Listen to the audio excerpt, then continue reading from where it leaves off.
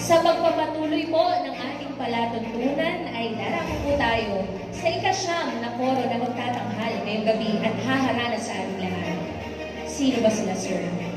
Nagsimula ang Pasca Choir sa pamamagitan ni Reverend Father Alvin Pila noong taong 2012. Hindi lamang sa pagtuturo na ipakita ng mga katikiska ang kanilang talent, kundi maging sa pag-awit.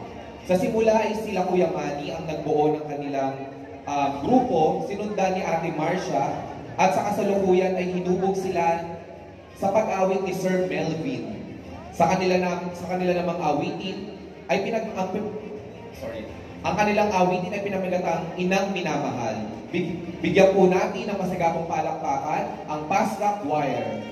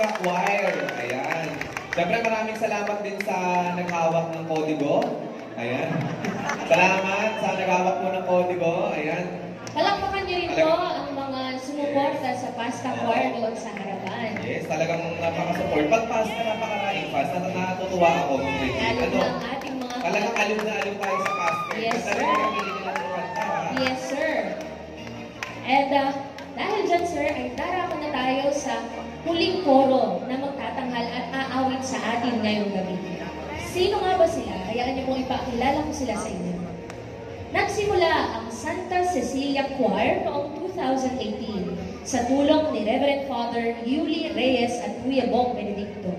Ang kauna-unahang pangalan ng samahan ay Knights of the Altar Choral sa kagustuhan noon ni Father Yuli na magkaroon ng choir mula sa mga sakristan. Hindi nagtagal, ito ay nagbago ng pangalan sapagkat mayroon ng ibang samahan na lumahok bukod sa mga sakristan. Sa huli na pagkasunduan na Santa Cecilia Choir ang kanilang magiging pangalan dahil hango ito sa patron ng mga mga awit at mahilig sa musika. Sa kasalukuyan, ang samahan ay apat na taon nang nalilingkod. Ang kanila namang kung aawitin ay pinamagatang Abang Maria. Palakpakan po natin ang Santa Cecilia Choir.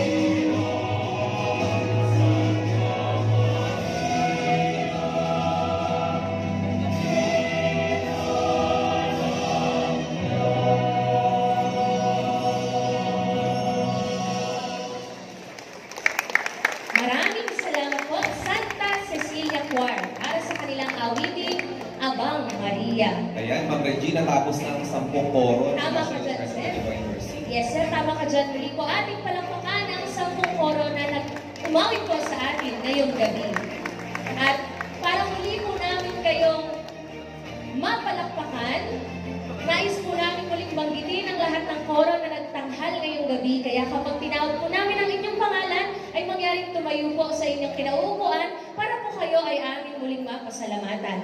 Ang una po natin nagtanghal kanina, maraming salamat muli, Our Lady of Fatima Coral, para sa kanilang. Song to Mary. Ang ating pong pangalawang koro ay ang Lay Minister Choir para sa kanilang awiting Maria Inang Gabay. Ang ikatlo naman po ay ang Knights of Columbus Choir para sa kanilang awiting Maria, Ina ng Pilipinas. At ang ikaapat naman po ay ang Mother of Mercy Choir para sa kanilang awiting Santa Maria.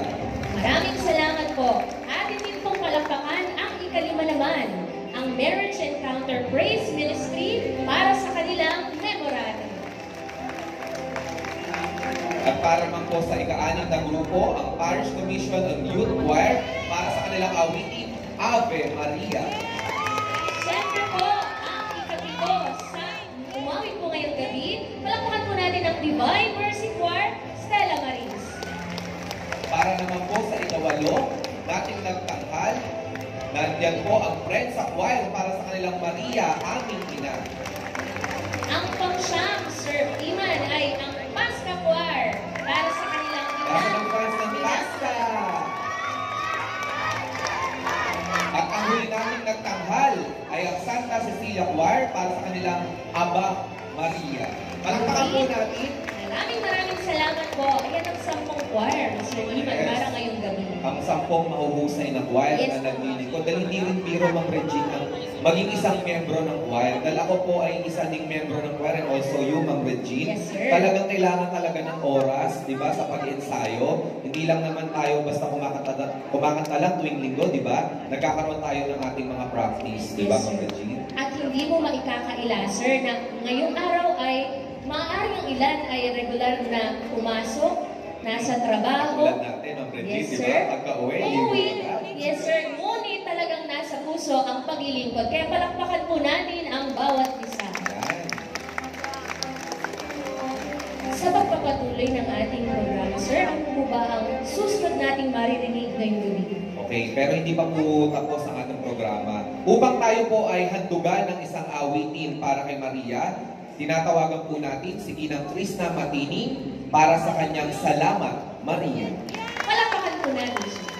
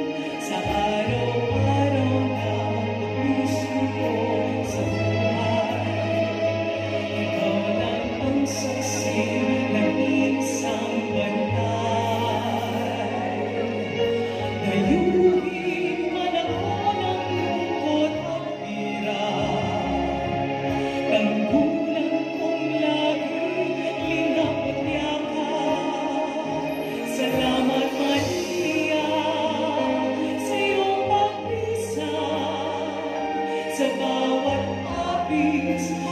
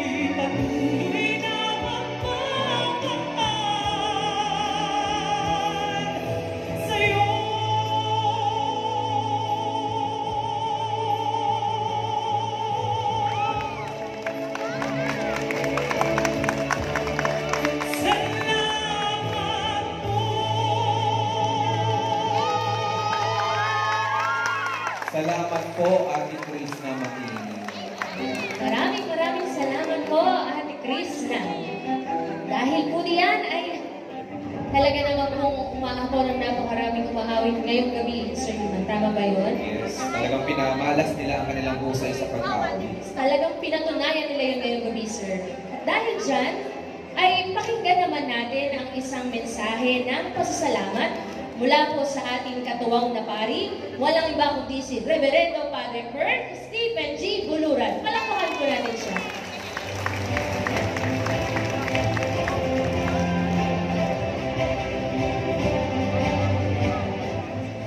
Magandang gabi sa inyong lahat at palapakan natin ang mahal na Birheng Maria. Ngayon sa bisperas ng kanyang kapanganakan, tayong lahat ay hinandugan ng mga awitin na bumuhay ng ating puso at diwa para pasalamatan natin ang ginawa ng mahal na Birhen Maria para sa ating lahat. At ngayon, minamahal ko mga kapatid, kung titinan natin, ginawitan natin ng mahal na Birhen, ngunit tandaan natin siyang unang umawit para sa ating lahat. At ang pinakamagandang inawit ng mahal na Birheng Maria ay nakita natin sa Ebanghelyo ni San Lucas ang Magnificat, ang awit ng papuri. At ang laman ng awit ng papuri ay ang kasaysayan at ang kwento ng bangako ng kaligtasan para sa ating lahat. At gayon naging ganap si Maria ang liwanag din para sa atin dahil sa kanyang ginawang pagsagot ng oo at pagtugon para maging nanay ng, ng anak ng Diyos, naganap ang kwento ng kasaysayan. Kaya muli, palapakan natin ang mahal na Birheng Maria, pasalamatan natin siya. At yun din kay isa ng ating minamahal na rektor, Monsignor Anilo Trellana, Father Roque Sasset, Bishop Teo Gracias Iniges, tayong lahat ay lubos na nagpapasalamat, lalo higit sa ating choir council. Kung wala sila, ay hindi natin ito magaganap ang pag-awit natin para sa mahal na Birhen. Para magpasalamatan natin ang ating choir council sa pangunguna ni Dr. Mayet Amasio. Palapakan po natin sila. At gayon din, palapakan natin ang lahat ng mga horo na umawit sa gabi ito. Palapakan po natin sila. At gayon din, pasalamatan din natin ang ating BTC, gayon din ang ating SPBC, kasama na lahat ng mga tagapagtangkilik sa gabi na ito, at gayon din lahat ng mga kapatid natin tumangkilik ng ating Marian T-shirt 2022. At gayon din, palapakan din natin ang Primo Event Solution para sa ating magandang sound system sa gabi na ito. Muli, minamahal ko mga kapatid, tayo rin ay inaalihan ng mahal na Bireng Maria na umawit. At ang pinakamagandang awit natin ay ang tinig natin ng pagsunod sa Panginoon sa bawat araw ng ating buhay. Muli, palapakan natin ang Panginoon at palapakan natin ang mahal na Bireng Maria. Yan, maraming salamat po, Father Kurt Stephen Buluran. Sa dako naman pong ito ay ating pakinggan ang pangwakas na pananalita mula po sa ating rektor at moderator ng team ministry, Reverendo Monsignor Ranilo S. Trillana, PC, EB. Palakpakan po natin si Monsignor. Maraming salamat po sa inyong lahat. Magandang gabi. At ah, hindi kung, tutusin po kung uh, sa to meron na doon di po tayo Marian Concert. Amen? Ngayon meron na naman tayo. So, nakakatuwa po, nakakagalak sapagkat ah, hindi natin na ako, personal po, hindi ko inakala o iniisip at ina-expect na tayo ay magkakaroon ng ah, ganitong uri ng pagtatanghal. Lalo tigit sa kaarawan ng mahal na Birheng Maria. Noong ako ay dati, kasi wala naman po ako alam talaga tungkol sa ating uh, pambansang dambana at parokya. Ang tanging alam ko, isa sa mga alam ko, walang choir ang Divine Mercy. Amen po ba? Hindi kayo makasagot. Ano? Pero alam niyo po, yan ay balitang balita. Wala daw choir dahil ang choir o ang mga awit sa misa ay yung po bang naka-record. Di po ba? Yun, ah, sa, sa katunayan ng gawain naman eh, meron pa rin tayong gawin na ganyan. Lalo kapag walang choir, o de, meron po tayong ah, naka-record at yan lang kung bakit tayo ay nasa shutdown sa Facebook dahil daw po sa copyright issue. Kasi pinatutugtog natin ay meron pong copyright, hindi naman talaga live ah, singing. Kaya naka-record. At yun po dati talagang nagsimula ang Divine Mercy. Parang ganun ang ah, sinasabi na walang choir, hindi ah, naka-record lang o yun pong ah, pinatutugtog lamang. At kung meron kayo, alam ko po kung merong nagkakaroon ng choir, ay mga hindi pa taga rito o sabihin natin po sigurong parang tayo o kumukuha ng tagatugtog sa ibang lugar o choir sa ibang lugar para may masabing live choir. Pero 2022 na po, iba na ngayon. Ang dami ng choir ng Divine Mercy. Buong, ah, sabihin natin siguro pong ah, sa dami ay kung sasabihin po talaga bawat misa na atin pong ah, ginaganap, lalo kapag ah, araw ng linggo, ay merong kani-kanyang time slot ang ating mga choir. Amen po ba? Amen. Yun ang inintay ko sana kanina sa pag-a-announce nila. Itong choir na ito ay sa oras na kumbaga alas 5 ng umaga. Yung choir na ito ay para sa alas 6 ng umaga. Yung choir na ito ay para sa alas 7.30 ng umaga gusto kong tastiguhin. Dahil ako po ang nasa 7.30 lagi na misa. E di syempre ako, yun sila lang ang, ang ah, naririnig ko. Kaya maganda naman po yung choir ng 7.30. Sa totoo lang. Sino ba yun? Sino po ang 7.30? Ano yung ano yung kanilang kwan, yung, yung kanila pong ah, choir group? Ano ba yun? Divine Mercy Choir? O tinan nyo yung original choir ng ating ah, National Choir. Amen? O tinan nyo? Pinakamatanda pa lang choir yun. Kaya lang yung kanila pong pinakamatanda dahil 2000, kung ano pa, 2000, ano, 19... 94 o 1994 pa. Kaya lang yung kanilang mga miyembro parang pinakabata. Amen po ba? Kasi mga bagong recruit na siyempre, hindi naman pwedeng yung 1994 na, na mga miyembro hanggang ngayon ay nandoon pa. Iba na magiging tinig nila kung nagkataon. Pero nagre-recruit sila. Ibig sabihin, nare-refresh ang choir. Ayun. Kaya mahusay po yun nasa 7.30. Yung sinabi ko kasi ito, hindi sila ibang issue po yun. Hindi yung pagkabit nila, hindi yung tinig nila. Mahusay silang kumanta. Kaya nakaka, pag pipili po sabihin kong may pagmamalaki natin na dito sa atin sa pambansang dambana at parokya ng Banal na Awa ay talaga pong masiglang masigla at buhay na buhay ang atin pong mga koro.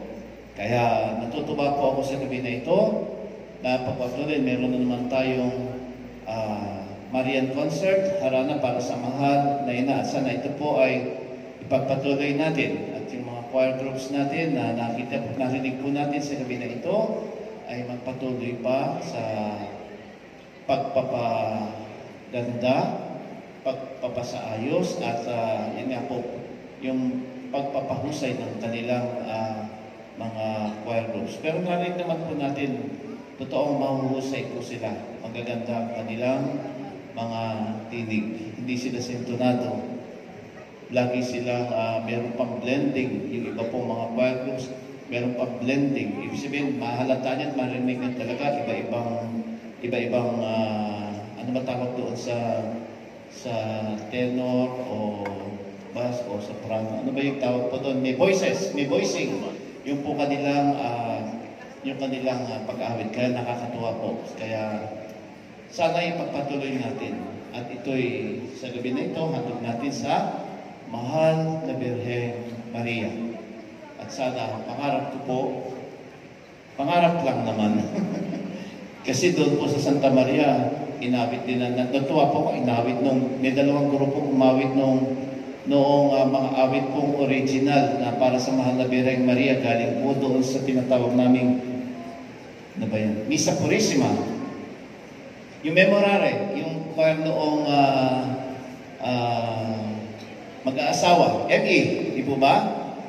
At saka yung isa, hindi ko alam kung sa friends sa ba yun, yung ah, Maria aming ina, original po yon sa Misa Purissima. Mga, ka, mga awit na kinatha, ginawa, kinompose, para po sa mahal na Birheng Maria sa La Purissima Concepcion. So sabi ko lang po, pangarap ko lamang, sana magkaroon din tayo ng ating mga sariling awit para naman siyempre po sa ating divine mercy. Amen po? Amen. So magagawa po natin yan. Mga, hindi naman ah, mahirap o imposible, magagawa po yan. Lalo sa talento na ating ah, narinig sa gabi na ito, posible po na magkaroon ng mga original na mga musika o awit para po sa ating ah, divine mercy. So, sa ganun po sigurong pananaw, makikita natin na napakaganda ng hinaharap ng ating choir council dito sa ating pambansang Lambana at parokya ng Banalaawa ng Diyos. Maraming maraming salamat po. Maraming salamat po. Muli po natin palapakan si Reverendo Monsignor Ranilo Trilliana.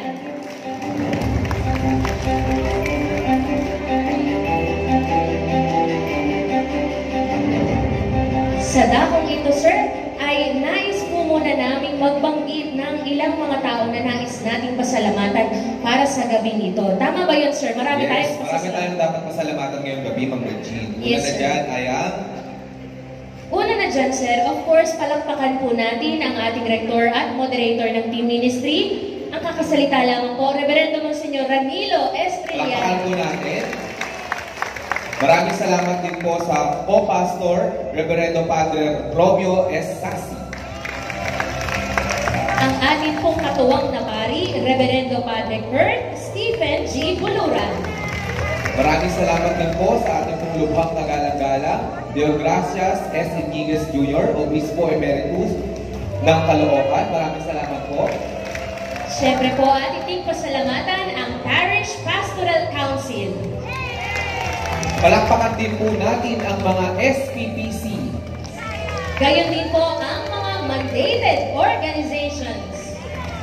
Salamat din po sa mga tumatangkiling sa Marian Church. Palakpakan po natin natin.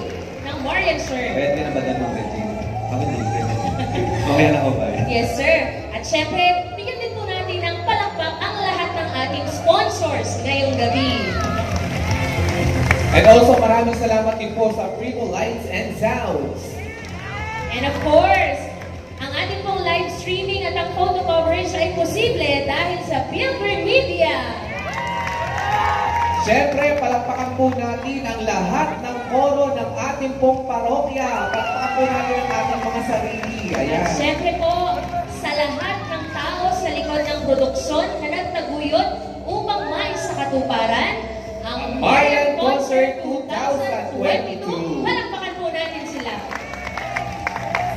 Congratulations po sa lahat po ng koro ng ating parokya, Ma'am Regine. Patagumpay natin na idaros ang gabing ito para sa ating mahal na birhen si Maria. Kaya palakpakan po natin ang ating pong mahal na birhen. At hindi magiging kompleto ang gabing ito, sir, kung hindi natin papupurihan ang ating mahal na Birhen. Kaya inaanyayahan po ang lahat para sa pag-awit ng Salve Regina. Pangungunahan ng lubhang kagalang-galang, Deogracias S. Iniguez Jr., Obispo Emeritu ng Caloocan.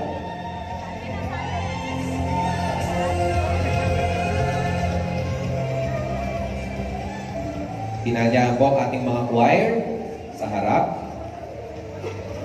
sa pag-awit ng Salve Regina. Ang gabing ito ay tunay po na may patnubay at uh, kalinga ng ating mahal na ina. At tayong lahat ay pinagpala, Ma'am Yes, Regine. sir. Kaya ang gabing ito ay tunay na pinagpala. Kaya marapat lamang na papurihan natin ang ating mahal na Birhen Maria sa pamamagitan muli ng pag-awit ng Salve Regina kasama ang lahat ng mga awit ngayong gabi. At syempre, pasalamatan din natin, Ma'am Regine, ang ating pong, ang kapamilya ng ating mga koro ngayong gabi na sumuporta sa ating mga choir. Yan, di Tama po yan. Palakpakan po natin ang ang ating pong mga kapamilya na nanood. Yan, at nakinig sa ating mga tinig. At syempre sa ating mga napakahusay na mga organista. Tama ka Yan dyan, na nagpamalas din ng husay sa pagtuturo sa ating mga koro, di ba? Hindi biro ang pagtuturo ng isang choir, di ba, Ma'am Regine? Tayo ang teacher, di ba, wala ang voicing, pero hirap na hirap tayo magturo. Yes, sir. Pero dahil ito ay ating nasa puso, hindi natin niya iniinda, di ba, Ma'am Regine? Yes, at nagagawa natin ng maluwag sa ating kalooban. Muli, para po sa pag-awit ng Salve Regina, ang lahat po ng koro na bumubuo sa ating koro ng National Shrine of the Divine Mercy. Sabay-sabay po natin papurihan ang mahal na Birheng Maria.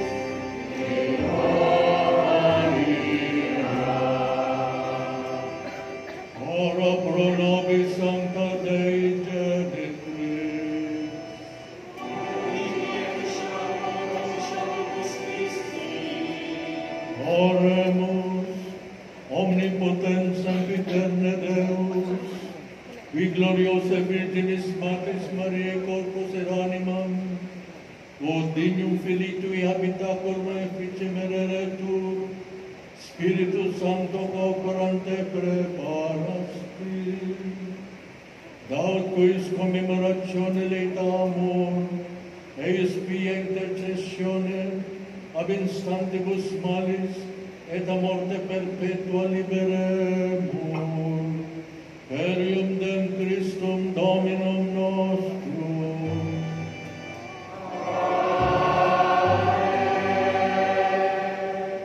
Divinum auxilium, maniat semper nobis.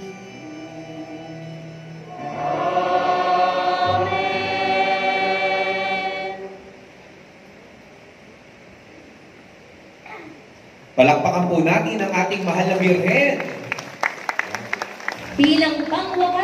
awitin, atin pong pakinggan ang lahat ng koro at mga awit ngayong gabi para sa kanilang pangwakas na awitin. Palakpakan po natin sila.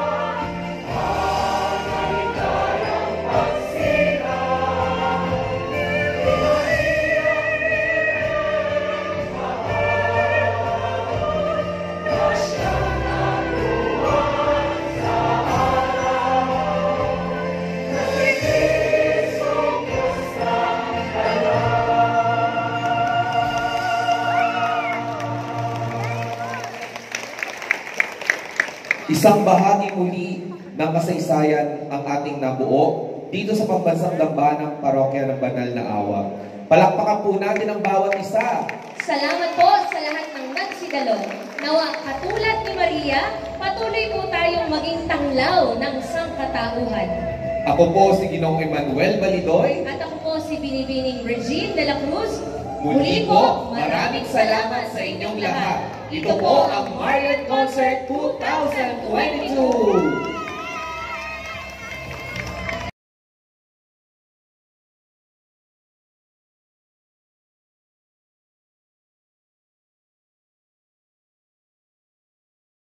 lahat ng mga organista po natin kasama po ang ating mga pari para po sa picture taking.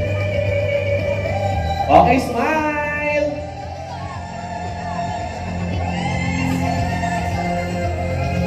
See you next year po ah, para po sa ating pong Mar Marian Concert 2023 Mr. Chico. Tama ka dyan, sir. Maraming maraming salamat po sa inyong lahat. Tiyak na paghahandaan niya ng bawat ano, choir council, di ba, Ma'am Reggie? Yes, sir. Yes. Tsaka nag-enjoy naman tayong lahat dito sa ganitong mga aktibidades ng ating parokya. eh. At lagi tayo nakasuporta dyan, Ma'am Reggie, di ba po? Yes, sir. Tama ka po dyan. Para sa ating mahal na Birhen Maria. Smile! One, two, three, and wacky! One, two, three, wacky! Paano ba yung wacky, Ma'am Reggie? Kasi parang di bagay sa akin ang parang, parang di bagay sa akin Maraming salamat po sa inyong lahat. Magandang gabi po. At mag-ingat po tayong lahat pag pauwi sa ating mga tahanan. Kita-kita po ulit tayo sa next Marian Concert 2023.